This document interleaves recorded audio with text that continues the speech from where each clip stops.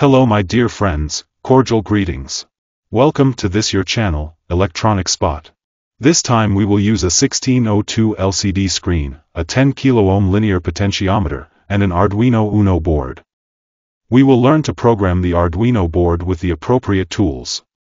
To convert what we normally see on our screen like this. In this larger size, and thus improve the visualization of our letters on the screen. By moving the potentiometer, we can observe the voltage variations associated with this movement, however, if we move away from the screen, we may have difficulty clearly observing our variable. So, being able to illustrate what we currently see in this larger size, is a useful tool that allows us to have a better visual appreciation of our variables on the screen even when we are far away from it. But how do we achieve this? Well, let's see and welcome. We will use a 1602 LCD screen. With a size of 16 columns, by 2 rows. Organized from column 0 to column 15, and from row 0 to row 1. Which comes with the PCF8574T adapter soldered on the back, to handle I2C serial communications with other devices. This will allow us to considerably reduce the connections of the LCD screen, from a 16-pin interface, to a simple connection bus with only four cables. Two for power and two for communications. We connect one end pin of the potentiometer to the GND pin of the Arduino board. We connect the central pin of the potentiometer to pin A0 of the board. We connect the other end pin of the potentiometer to the 5-volt pin of the board. We connect the I2C communication pins of the Arduino board, that is, SDA and SCL, with the SDA and SCL communication pins of the LCD screen. We connect the power pins of the Arduino board, with the power pins, 5V and GND, of the LCD screen. We connect the Arduino board to the computer. On the computer, we open the Arduino software. In a new sketch, we open the Library Manager, and in the search bar we type Liquid Crystal I2C, we locate the library of the creator Frank Bandender. We install the library. After installing it, we go to Sketch. Include Library. And select the wire library. Then we go to Sketch again. Include Library. We look for the library that we just installed, Liquid Crystal I2C, and we include it in Sketch. Then we create the object that allows us to use the LCD, using the liquid crystal class, assigning it a name, I will call it LCD, and placing three arguments inside the parentheses. The I2C address of the LCD screen. Remember that, since I2C is a bus communication standard, which allows multiple devices to connect to that data bus, each device must have an identifying number that differentiates it from the others. In the case of the LCD with the PCF8574 adapter, the factory address is hexadecimal 27. The number of columns on the screen, in this case 16, and the number of rows, 2 in this case. Within the void setup method, a method that is executed only once when the Arduino board starts up, we place the instructions to start the LCD, clear the screen, and turn on the backlight. Within the void loop method, a method that is executed cyclically or repetitively, we read the value of the potentiometer and store its result in the variable pot value. We scale this last value in a numerical range between 0.00 and 5.00, representing the voltage of the central pin of the potentiometer. We place the cursor or screen positioner at 0, 0, that is, column 0, row 0, we print the explicit text equal voltage to the LCD, and we print the voltage variable. Then we place a delay of 100 milliseconds between each print on the screen, to appreciate the changes in the voltage variable more slowly. We go to Tools, Board, and select our Arduino board, in my case the compatible Arduino Uno. Again in Tools, Port. And we select the port where the board is connected to our computer. We check the code to rule out any syntax errors, and then upload this program to the board. Here we can see on the screen the explicit text voltage equal, and the voltage variable associated with the movement of the potentiometer, which has a variation between 0 and 5 volts. Now, how do we illustrate this voltage variable in larger letters? Well, we open the Library Manager, and in the search bar we type big fonts I2C, locate the library and click Install.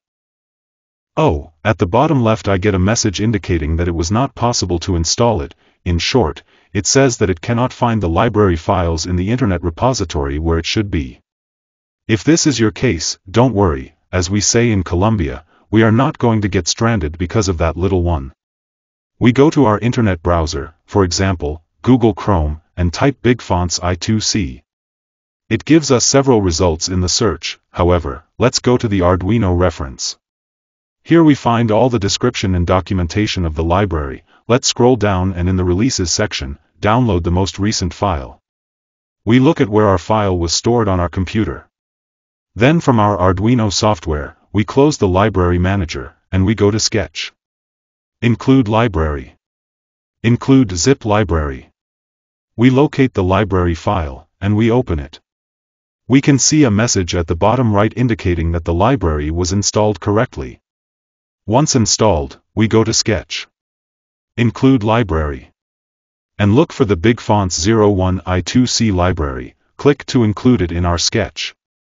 Once this library is included, let's declare the object that will allow us to write large fonts on the screen, placing the big fonts 01i2c class, assigning it a name, in this case I will call it big, and inside the parentheses we place the LCD object that we had declared in the previous line of code. If you can notice, we wrapped the LCD object, inside the big object, because of this we can use both objects inside our code, without interfering with each other, writing normal or small characters with the LCD object, and large characters with the big object. Inside the void setup method, we initialize the big object with the begin method. And inside the loop method, I will cut the explicit text only to the word volt, so that I have more screen space to show the voltage variable in large numbers. Yes, we write the big object, and then one point, the Arduino development environment shows me four methods available for this object, the begin method to initialize the object, the clear method to delete a character from the LCD, the write char method, to illustrate characters, one by one, and the write int method to illustrate numbers in integer format. As we can see, the method to illustrate large numbers on the screen is called writeInt. Observing its structure, we realize that it is a method to illustrate integers only. And our voltage variable is in a floating numeric format. For example, if we see it on the screen we see that it has an integer part before the point, and a decimal part after the point. So, a solution to this would be Separate the integer part of the number into a variable. Separate the decimal part of the number, multiply it by 100, and then convert it to an integer by storing it in another different variable. Then print these two variables by printing a dot character in the middle of the two. So, we take out the integer part of the voltage variable and store it in a variable called voltage integer part. We extract the decimal part by subtracting the integer part from the whole number, and store it in a variable called decimal part voltage. We multiply this decimal part by 100, take out the integer part and store it in a new variable called decimal part 100. So here we already have the two variables that interest us in integer numerical format. Now we print the first variable called voltage integer part, with the write int method, which has five arguments separated by commas inside the parentheses. The first argument is the row of the screen from which the writing will be made, in this case row 0.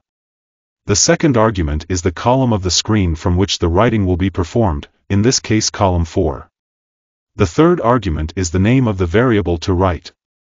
The fourth argument is the number of characters I want to write from this variable, in this case only one. And the fifth argument is a true value, to make the writing effective. Then we use the write char method to write the period character, indicating the first argument the row from which the writing begins, row 0 in this case, then the column in this case 7, since the previous numerical character occupies three spaces or three columns, and finally placing the character I want to write, the period in this case. Now we write the numerical character of the variable decimal part 100, indicating row 0, column 10, the name of the variable, the number of characters that I want to write for said variable, in this case 2, and the value true. We upload this code to the Arduino board, and now we can see our voltage variable in large numbers, with three columns wide, and two rows high, for each of the characters. To try writing large words, we go inside the void setup method, we adjust the screen cursor in column 0 and row 0, and with the LCD object, we print the word hello, this is the way we would do it with normal letters. Let's set a delay of 2 seconds, and with the big object, let's write the first letter of the word, and thus we write all the letters of the word, one by one, increasing the start column by 3, since each letter has a width of 3 positions or 3 columns. We set a delay of 2 seconds, and clear the screen. We load the program to the board, and that's it. We have the word in small letters. The word in big letters. And our numerical voltage variable in large letters. A special greeting friends, subscribe to the channel and click on the bell to be aware of new content.